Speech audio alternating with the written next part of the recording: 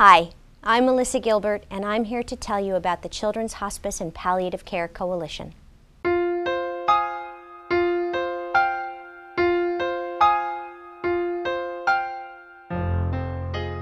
Every day, families are faced with the heartbreaking news that their child has a serious life threatening condition.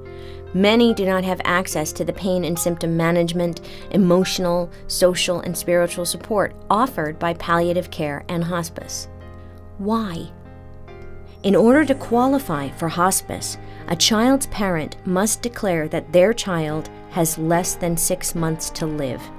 Additionally, children are ineligible for hospice care if they are still receiving any type of medical treatment that has the possibility of curing their disease and or prolonging their lives. This is inhumane, frightening, and wrong.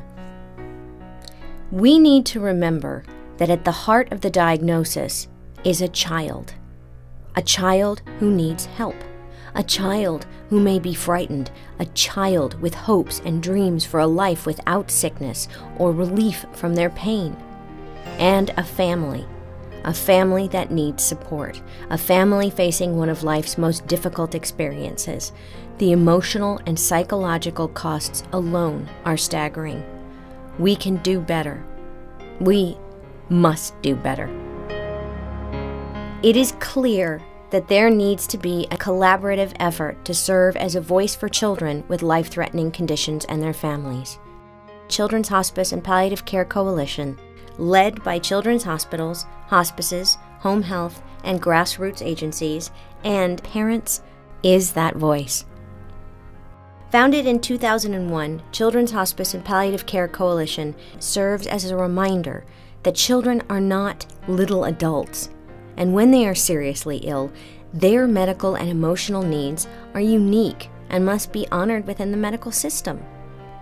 The coalition is reaching out to parents, healthcare professionals, the media, and funders about the benefits of compassionate, family centered healthcare for children with life threatening conditions. We need your help. In an ideal world, children should never need palliative or hospice care. Unfortunately, they do.